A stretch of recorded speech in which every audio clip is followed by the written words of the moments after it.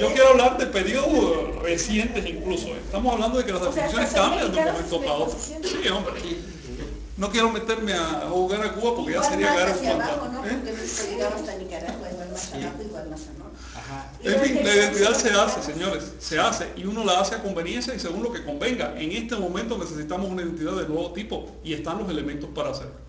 Ajá, sí, fíjate, nos preguntan también se- sobre este autismo, o sea, ahorita que se la Sí. pregunta de la esquizofrenia, Sí. ahora de, de- de este autismo, si también había alguna forma de... El autismo y la esquizofrenia son tendencias, digamos, polares o extremas de una misma sensibilidad eh, de conciencia. La mayor parte de la gente es bastante insensible, sobre todo porque se ha encallecido con el tiempo, porque los niños nacen bastante sensibles. Los niños manifiestan esas dos tendencias. Pero con el tiempo nos vamos encalleciendo y eso nos, nos ayuda a vivir en el mundo sin estar constantemente asombrados, desesperados, asustados, etc. Sin embargo, también es bueno de cuando en cuando refrescar esa capacidad infantil para llegar a esos extremos que son el autismo y la esquizofrenia. Eh, la verdad es que la conciencia es una. Un autista es, está sufriendo un problema porque el medio no es autista. Si el medio lo fuera, él sería una persona normal y construiría una cultura a la medida de esa persona normal. Si tú te cuelas dentro de la mente de ese autista, ese autista se ve a sí mismo normal. Porque normal no es más que la medida de uno con respecto a uno mismo. ¿Ves? Ese autista encuentra una razón perfecta, una estructura muy lógica para hacer esto después de esto, después de... ¿Ves? Se encuentra un sentido, aunque los demás no lo encuentran. Y así mismo pasa con el esquizoide. En medio de un ataque incluso ya paranoide, un ataque fuerte de esquizofrenia, un ataque en que ni siquiera sepas dónde está el arriba o abajo, si hay el cuerpo para sentarse o no, si la silla te va a sostener, un ataque en que no puedas subir o bajar una escalera, incluso en medio de eso, tu mente sigue siendo perfectamente lógica. Tú estás reaccionando a una lógica, ¿sí o no? Es simplemente eso. La escalera se está moviendo, yo me tengo que agarrar. Porque no me quiero caer. Es así sencillo.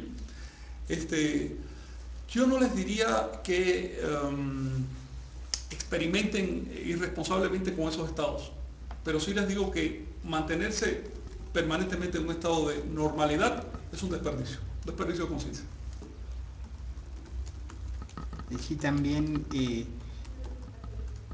eh, nos eh, hacen la referencia a que si la recapitulación lo denominamos como la, la escritura, el registro de nuestras experiencias eh, como vida, si es posible eh, seguir escribiendo esta, esta historia después de terminar el ciclo de vida.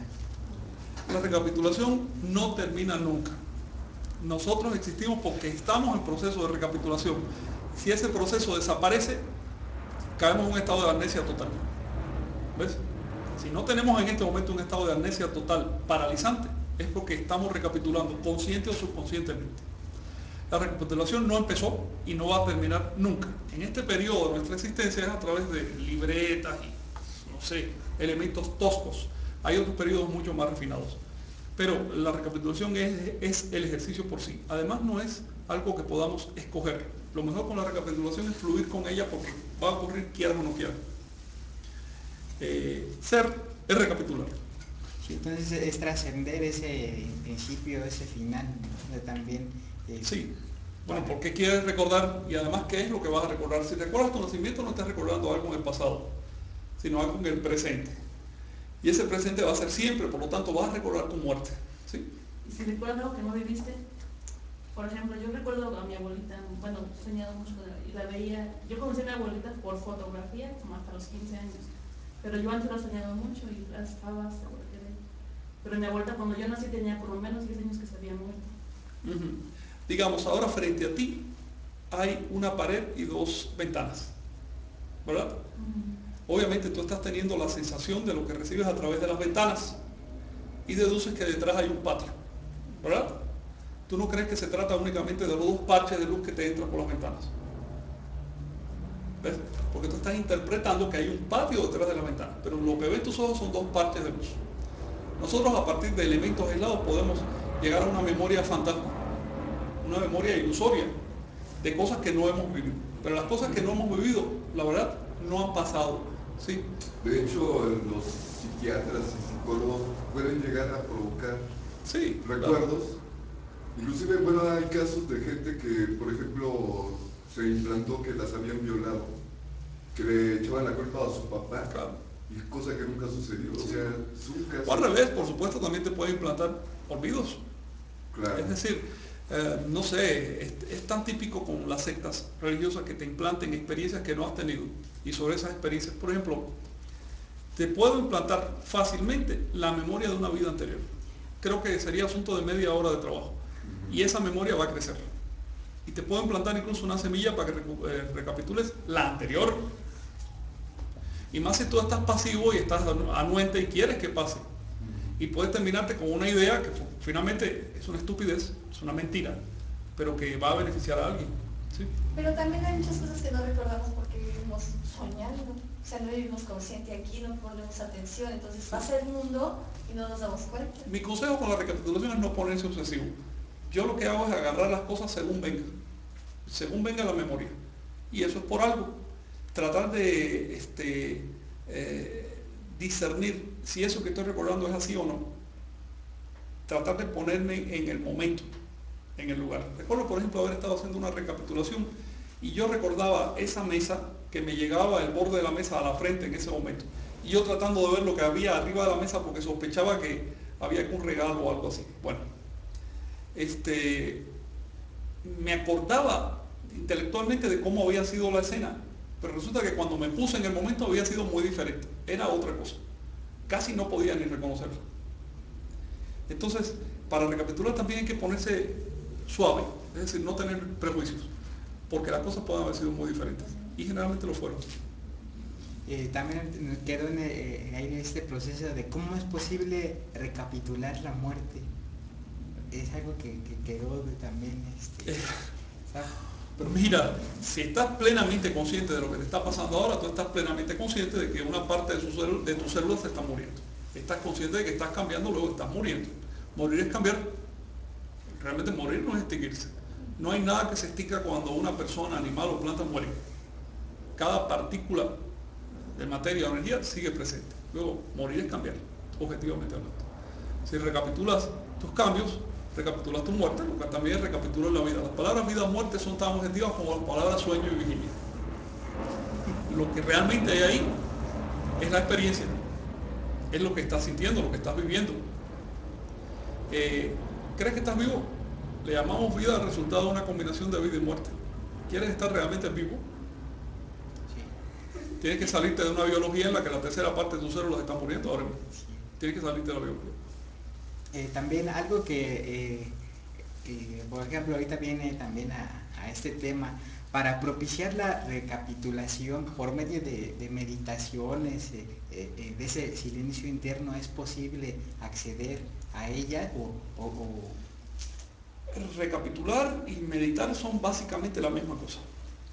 Eh, eh, la verdad es que nunca hay un silencio total. exacto, Lo que tú puedes es luchar para eh, calmar, para alejar la obsesiva tendencia a juzgar las cosas. ¿Ves? Y puedes hacerlo de mi manera. Si te pones a mirar un punto fijo en la pared, concentradamente, es obvio que al mismo tiempo le estás dando la orden al cerebro de que no haga juicios respecto a todo lo demás. Puedes aprender a hacer eso. Es más, todos nosotros sabemos dormirnos cuando viene el caso. La gente que no sabe dormirse sufre de una tremenda enfermedad y hay gente que sufre de eso. Es muy difícil dormirse. Pero por, por lo general todos nosotros sabemos en cierto momento, a ver qué haces tú para dormirte. ¿Yo? Para empezar tú pones el cuerpo en cierta postura. Sí. Eso ya es una orden que le estás dando a tu conciencia. La postura no es obligatoria, puedes dormir en cualquier otra postura, pero ya asociaste. En cuanto asocias posturas, que la postura horizontal, ¿qué haces? Bueno, tú le pones una posición a los ojos. Cierra los ojos y le estás dando otra orden. Es más, si ahorita mismo te echara ahí en el suelo y cerrar los ojos, ya tu gente va a decir, oye, es que tengo que dormirme, y si le damos por te duermes. Este, después, ¿qué pasa con la mente? Bueno, al principio vienen ideas y demás, pero uno trata de calmarlas. Uno lo intenta. No es que simplemente se calmen, es que uno lo intenta. Porque si uno no lo intenta, cae en insomnio. ¿Ves? Es un intento deliberado. Claro que las cosas se pueden hacer. Este, eh, meditar es como dormir, pero en lugar de decir, me voy a desconectar, no, yo voy a mantener aquí un piloto automático despierto. Solo que no me voy a, voy a atender a todas las cosas, sino a una sola cosa. Así que eso es lo primero. Si tú, en la conciencia ordinaria, tú estás atendiendo más o menos a todo. No es común que uno se diga, yo voy a concentrarme en un solo objeto. Si lo haces, estás en el prólogo, en el precedente de la meditación. ¿Qué pasa después que te concentras durante un rato en un solo objeto? Cambia la naturaleza de la conciencia. ¿Ves? Porque tu cuerpo se durmió, tu mente puede que esté en estado alfa. Tu cuerpo está completamente dormido. Te pasa una lagartija por encima y no te enteras. Pero tú sigues concentrado en un punto, en un diagrama, en una, en una frase. Sigues concentrado en eso. ¿Qué pasa si en ese momento eliminas el objeto de tu concentración? ¿Cómo le llamas al resultado? Estás técnicamente ensoñando, aunque no te hayas dormido. En realidad el sueño es meditación avanzada. ¿sí? O sea que para sacar la guardia que dormía el cuerpo y la mente. Digamos que si tu cuerpo está moviéndose, dando saltos, si tus ojos están mirando para todos lados, si tu mente está procesando información, es muy difícil que percibas nexos ocultos, cosas más sutiles. Pero si eliminas todo eso, entonces va a salir a la luz un montón de, nexos que estaban ahí, eso se llama el, el subconsciente. Toda esa área que está por debajo de la raya parte de la conciencia y por supuesto que vale la pena eh, revisar lo que hay ahí. Cuando soñamos, toda esa área aparece en nuestros sueños mediante símbolos. El símbolo de que te metes en el agua, que te metes en una cantarilla, que te metes, no sé, cosas así. Vas para abajo y te metes en agua. Ese símbolo es un, detonante. Ese símbolo te está avisando además de que estás entrando en tu, en tu subconsciente, de que estás arrojándole luz a tu subconsciente. Ese es el desarrollo de la conciencia. ¿Para dónde crees que es? ¿Para arriba? El desarrollo es entrar a profundidad, obviamente. Es echar luz donde no había luz. El desarrollo de la conciencia se hace en la oscuridad. Ese es el trabajo.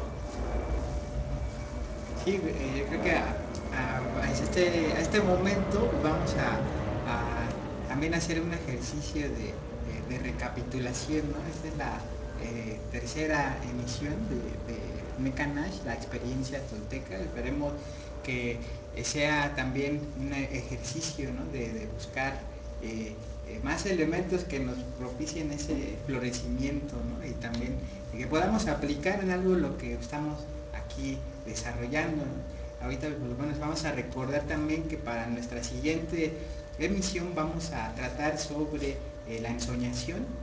La siguiente va a ser el nahualismo, por lo que nos propusieron también eh, la, alimentación en relación al maíz, a cuáles eran desde esos, eh, eh, de esas dimensiones ¿no? del alimento de, como el hombre de, maíz hasta las golosinas, cuál era ese contexto que también este, se ha llamado la, atención y pues les dejamos también abierto el espacio ¿no? para algún tema relacionado también con, esta experiencia, este, pues, tratarlo. ¿no?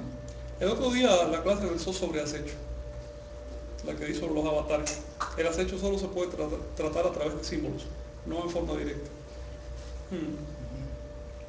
Sí, así que eh, eh, pues bueno, va a ser, va a ser interesante eh, seguir en, las siguientes emisiones.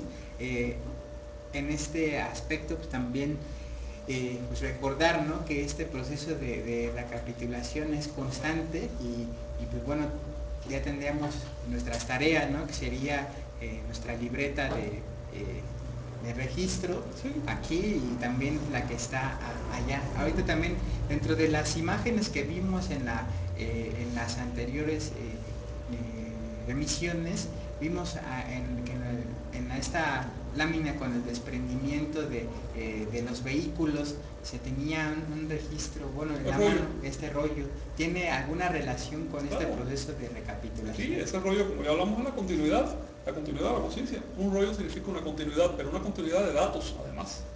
este, quiero decirle eh, que la recapitulación no es más que un intento de ponernos en comunicación con una